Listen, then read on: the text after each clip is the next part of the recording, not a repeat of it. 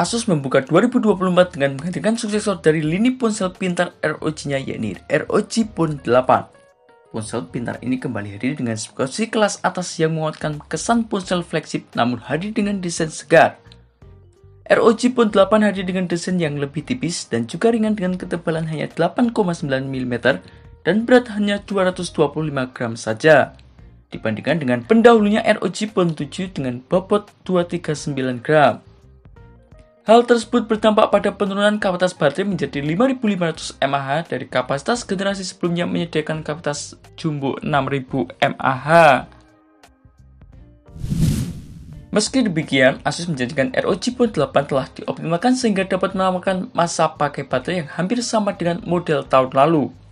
Untuk layarnya, tidak mengalami perubahan ukuran dibanding dengan generasi sebelumnya yakni tetap menampilkan layar seluas 6,78 inci.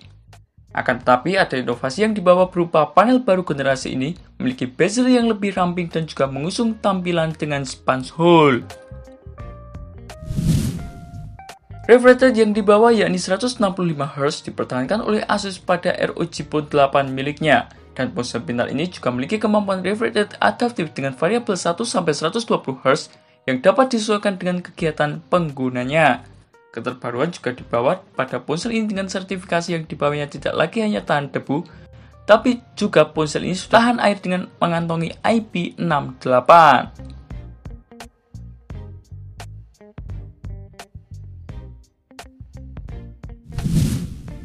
Sebagai ponsel flagship dari Asus, ponsel pintar ini telah dilengkapi dengan dapur pacu terbaik saat ini yakni Qualcomm Snapdragon 8 Gen 3 yang dapat dikonfigurasi dengan RAM LPDDR5X hingga 24 UFS 4.0 hingga 1 TB.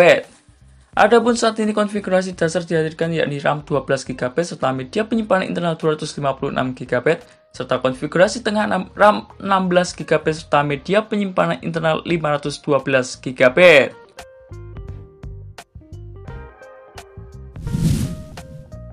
Asus juga membekali kemampuan kecerdasan artifisial atau AI untuk meningkatkan pengalaman penggunaan bermain game. Misalnya pada game Genshin Impact dan juga Star Rail.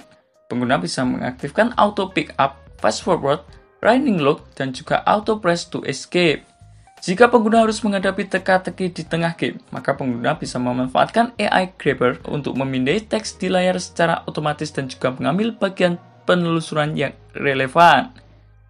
Seri 8 memiliki dukungan penuh untuk Microsoft Phone Link. Dukungan ini termasuk streaming aplikasi dan juga pencerminan layar.